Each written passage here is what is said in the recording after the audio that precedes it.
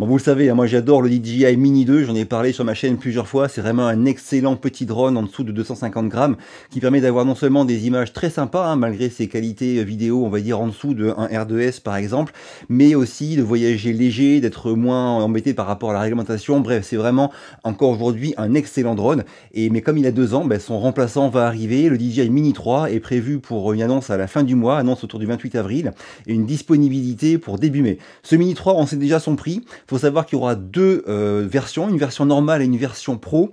La différence précise entre les versions, elle n'est pas encore euh, clairement connue, hein, mais forcément ce sera lié à la qualité de l'image, notamment la taille du capteur, hein, peut-être un capteur de 0,5 euh, sur le Mini 3 normal et de 0,8 pouces sur le Mini 3 Pro. Ça, on n'en sait pas encore vraiment les, les, vrais, les vraies valeurs de taille de capteur. Mais en tout cas, ce qui est sûr, c'est qu'il y aura un Mini 3 normal, un Mini 3 Pro, et qui sera décliné en version normale ou version Flymore Combo avec plus de batterie et tout ça, ce qui veut dire des différences de prix. Et on a aussi une radio-commande type Smart Controller avec un écran intégré. Bref, selon les modèles et les versions que vous prenez, il y aura 6 prix différents. Je vous dis maintenant et je vous montre à l'écran les différents prix. Pour le Mini 3 normal en version de base, ce prix sera de 550 dollars. Vous pouvez faire la transposition en euros et sera pareil. En général, c'est la même chose. Donc on aura un Mini 3 de base à 550 euros.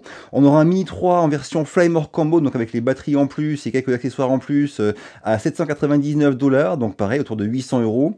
Et un Mini 3 Flymore Combo avec en plus la radio commande euh, à 1000 99 dollars, donc environ 1100 euros. Maintenant, pour le Mini 3 Pro, euh, on va avoir Mini 3 Pro de base à environ 700 dollars, donc 700 euros. Mini 3 Pro version Flamer Combo à 950 euh, euros.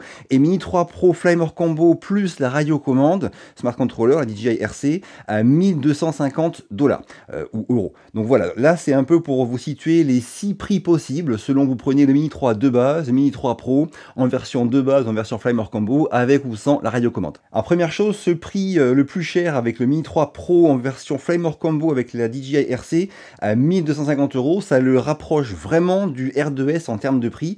Euh, ça c'est un premier truc à prendre en compte. Ce sera vraiment deux drones différents. Hein. Je ne dis pas que le prix n'est pas justifié parce que avoir une telle technologie dans un drone qui fait moins de 250 grammes, forcément ça a un prix. Ce sera à vous de voir si c'est intéressant pour vous ou non. Il faut savoir qu'aujourd'hui, le R2S a des possibilités vidéo et des possibilités en termes de, de mouvement et tout ça qui sont bien supérieures à un Mini 2 et qui resteront, à mon avis, supérieures au Mini 3 Pro.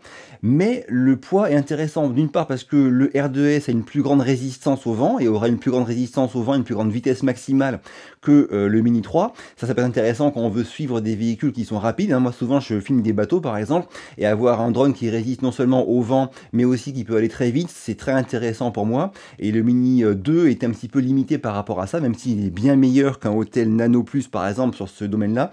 Donc voilà, la résistance au vent, c'est un premier point. Hein. Ceux qui vont souvent voler euh, un bord de mer ou quoi et qui ont du vent dans leur région, c'est sûr qu'un R2S restera au-dessus d'un Mini 3. Cela dit, un Mini 2 aujourd'hui a quand même une résistance au vent qui est quand même pas mal, hein. vu son poids, c'est euh, ben, par rapport encore une fois au hôtel Nano Plus, il est vraiment très correct en termes de résistance au vent et il est fort probable que malgré un poids identique, le Mini 3 soit un peu meilleur grâce à de meilleurs moteurs notamment. Ça, ça reste à voir bien sûr. Mais premier point, pensez bien que même si le prix euh, paraît proche, euh, la résistance au vent, c'est un argument qui sera clairement en faveur d'un R2S et aussi des possibilités photo-vidéo. Cela dit, euh, avoir de, un capteur qui est plus grand que celui du Mini 2 dans le Mini 3, des possibilités en plus. On a vu qu'il y a des capteurs des hein, sur les différentes images qu'on a pu apercevoir du futur Mini 3. Donc on aura aussi tout ce qui est active track et tout. Ça va rapprocher euh, ce Mini 3 vraiment des possibilités euh, qu'a un R2S sans pour autant les atteindre. Et tout ça dans un format plus contenu, qui est plus pratique à, prendre en balade, tout ça, qui est moins euh, contraignant par rapport à tout ce qui est réglementation dans tous les pays du monde. Et eh ben ça fait que quelque part, un prix qui dépasse les 1100, 1200 euros, ça peut être justifié pour un drone de ce style. Alors en ce qui me concerne, avoir un drone qui fait moins de 250 grammes et qui a de bonnes caractéristiques photo-vidéo, ça m'intéresse vraiment. S'il est fiable et qu'il offre pas mal de possibilités, euh, avec un capteur qui est plus gros que le Mini 2, bah, je suis prêt à mettre ce prix-là. Mais forcément, c'est pas tout le monde qui est dans cette situation-là. Et je comprends que ça soit cher. C'est quand même un sacré budget hein, de dépasser les 1000 euros pour un petit drone.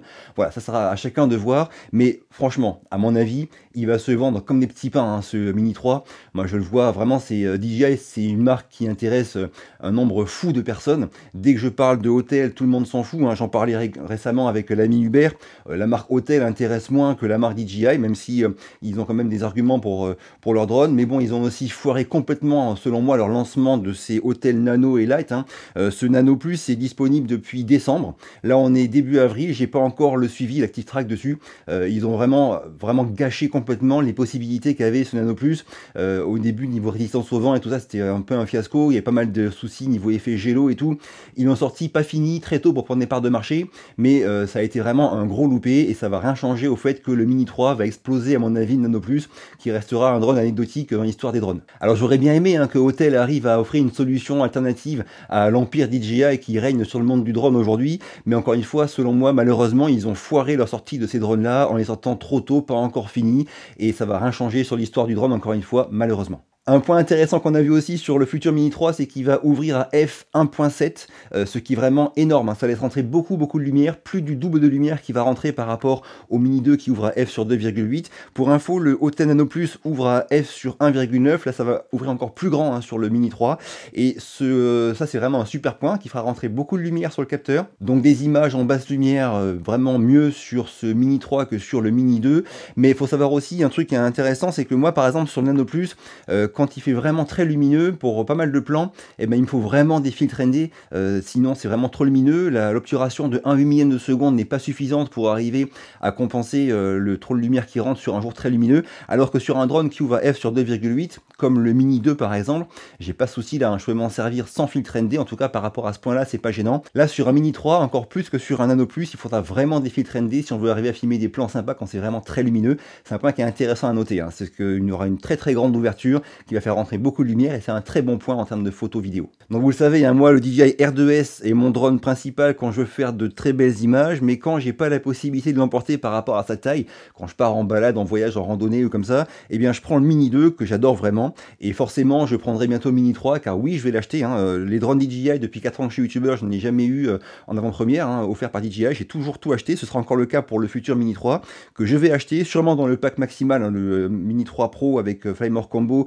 et la DJI RC et que je vous testerai à travers plusieurs vidéos pour vous montrer un peu ses possibilités, ses points forts, ses points faibles et vous aider à le prendre en main. Euh, c'est vraiment quelque chose qui est important pour moi en tant qu'amoureux du drone, en tant que pilote de drone professionnel, mais aussi en tant que youtubeur, hein, parce que se cacher, hein, c'est un drone qui est très très attendu et que j'ai hâte de tester dans, tous ces, dans toutes ces possibilités euh, très bientôt. Alors pour ceux qui veulent se lancer dans le monde du drone et qui sont un petit peu hésitants par rapport à tout ce qui est réglementation, sécurité, ne pas se blesser, pas, pas embêter les gens, tout ça, j'ai une formation en ligne euh, dont je vous mets le lien sous la vidéo, mais aussi ici où j'explique vraiment toutes les bases de la réglementation, euh, toutes les bases de sécurité, comment régler son retour à la maison, comment euh, gérer ses batteries, comment décoller et poser un drone à la main, pourquoi ne pas le faire, bref, comment voler sur l'eau, bref, tout ce qu'il faut savoir pour être en confiance et voler en toute sécurité sans se blesser, sans casser le drone, sans blesser quiconque.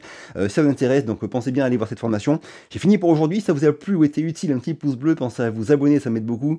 Je vous quitte, à très vite et d'ici là, bougez-vous purée, bougez-vous.